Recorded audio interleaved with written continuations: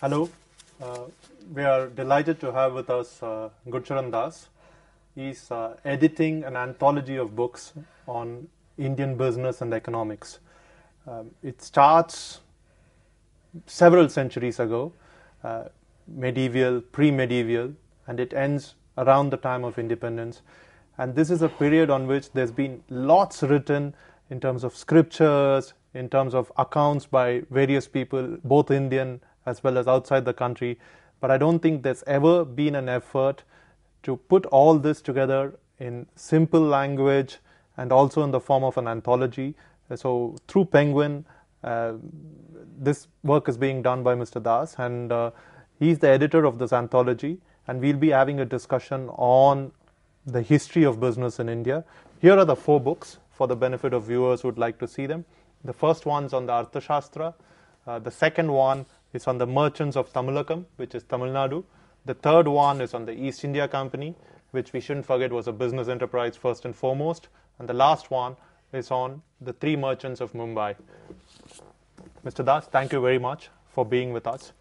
Let's start off at the beginning. How did this idea come about? Well, this came about when somebody in Penguin was discussing with me about the great business ideas that have emanated out of India, a country with six with five thousand miles of coastline, and which was once a great trading nation. And so when when she asked me to be general editor of this series, it was very clear to us from the beginning that we wanted this to be a serious project. So I wanted to get the very best scholars. I also wanted this to be text based.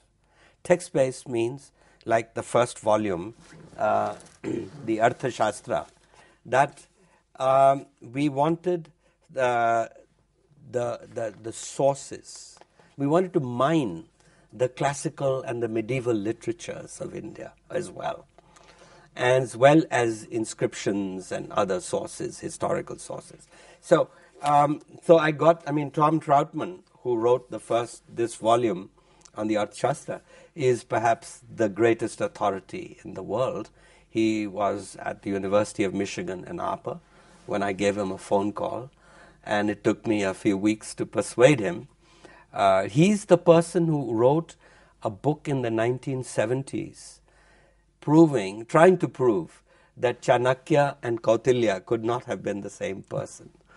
And, and so uh, the interesting thing about, uh, about our series is that we raise questions that are relevant to today. I mean, for example, in my foreword, I've written a foreword to each, about a 10, 15 page uh, foreword to each volume. I raise the questions such as the, the notion of property. What was it? Because in many countries, the king owned all the For property. everything, that's right. But in India, the Arthashastra says very clearly to the king that you don't own the kingdom. You have a bhaga and it's Shat Bhaga. Shat Bhaga means one sixth. So the, in other words, that is the uh, that is the moral, the right tax rate for a for a kingdom. And so whenever kingdoms had higher tax rates, such as in the Mughal Empire, when the tax rates went up to 40 and 50 percent, constantly the Mughal emperor was told that the, the, the, the right, the righteous tax rate is 15%. And the Arthashastra, the prince, the, the advice that Kautilya gives to the prince is that if you overtax your merchants, you will lose your tax base because they will go to the neighboring kingdom. But that's a lesson that India pretty much forgot for around 40, 50 years, 40 right? years. And, and even today, I mean, our tax rates during Indira Gandhi's time had gone to 97.5%. The idea is clearly not to be academic about it, right? It, No. it, it, it's And in fact, that's one of my challenges as the general editor of this 15 volume series that it is to force the, these academics to write in a, in a lively way and we give them good editors, good uh, sub editors, to make sure that their language doesn't become, that they're not talking to each other and they're talking to ordinary people.